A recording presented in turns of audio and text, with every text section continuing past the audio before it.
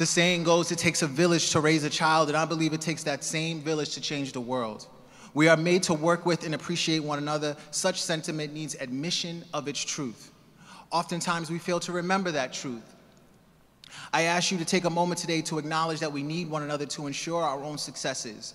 We need our ancestors, parents, spouses, friends, colleagues, professors, and mentors. Them, along with our life experiences, all play a role in our growth as entrepreneurs, professionals, community leaders, artists, and activists, but more importantly, our growth as humans.